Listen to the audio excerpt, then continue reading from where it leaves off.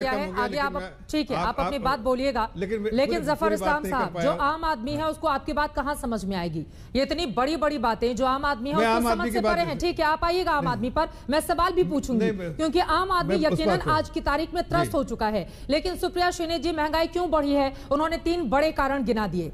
और पिछले दो सालों में कोरोना की जो स्थिति है वो एक बड़ी वजह तो मानी जाएगी ना लॉकडाउन और उसके बाद के हालात। ऐसे में क्या करे सरकार? क्या है इस पर टिप्पणी आपकी? नहीं, ये बिल्कुल बेतुकी बात है। इससे कोई लेना देना नहीं है कोरोना का। और मैं आपको असलियत बता देती हूँ, क्या है? पच्चीस रुपए एलपीजी आज बढ़ा है और छह बार बढ़ाते बढ़ाते दो सौ चालीस रुपए एलपीजी बढ़ गया है। मैं यूपी और एनडीओ को तो कंपेयर ही नहीं करूँगी। नवंबर 2020 में पाँच सौ चौरानबे रुपए का एलपीजी सिलेंडर था। आज आठ है और वो तब है जब सऊदी अरामको जो हमारा दाम तय करता है, उसका दाम गिर गया है।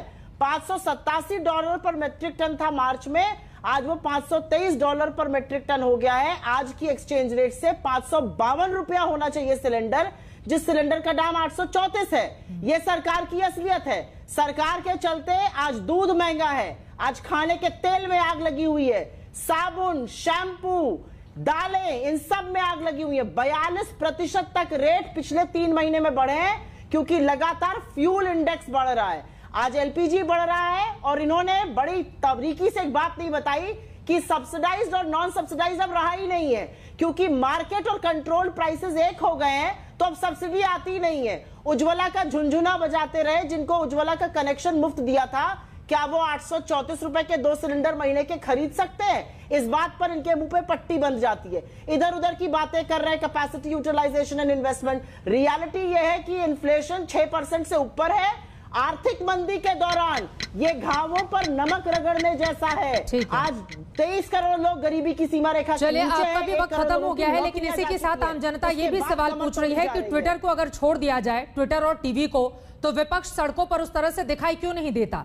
जब यही बीजेपी विपक्ष में थी तब हम सबने देखा था कैसे सड़कों पर उतरकर विरोध प्रदर्शन होते थे। लेकिन आज वही कांग्रेस जैसे पूरा देश उम्मीद कर रहा है कि कम से कम महँगाई के मुद्दे पर आम आदमी आम आदमी का साथ दे लेकिन गायब है। इस पर आप जवाब दीजिएगा लेकिन आशुतोष वर्मा जी अब छह महीने के बाद यूपी में चुनाव होने आशुतोष मिश्रा जी हमारे साथ जुड़े हुए माफ़ कीजिएगा। आशुतोष मिश्रा जी छह महीने के बाद उत्तर प्रदेश में चुनाव होने वाले हैं। लेकिन समाजवादी पार्टी का भी वही हाल है। कुल मिलाकर ट्विटर पर जितनी भड़ास निकालनी हो निकाल दिया जाए। आम आदमी के साथ आपकी जो साइकिल है वो चलती हुई कब दिखाई देगी? ताकि महँगाई के मुद्दे पर सरकार को घेरा जा सके। धन्यवाद चित्रा जी और मेरा नाम डॉक्टर आशुतोष वर्मा है। एक बार खुद कर लीजिए। देखिए, बढ़ती हुई महँगाई और घटती हुई कमाई को मुझे लगता है कि अब मुझे आधार कार्ड की ज़रूरत नहीं है, मुझे उधार कार्ड की ज़रूरत पड़ रही है हिंदुस्तान में। और मैं जब इस बारे में सोच रहा था महँगाई के बारे में तो मुझे एक ट्वीट मिला था, ये नरेंद्र मोदी जी का ट्वीट था कि अगर कमल है तो लक्ष्मी है और लक्ष्मी है तो पक्का तो रोटी पक्का आएगी। ये हमारे प्रधानमंत्री ने 2013 में जब वो प्रधानमंत्री बने थे, तब उन्होंने ट्वीट किया था। तो ट्वीट पे कौन राजनीति कर रहा है और कौन देख रहा है, ये पूरा देश जानता है।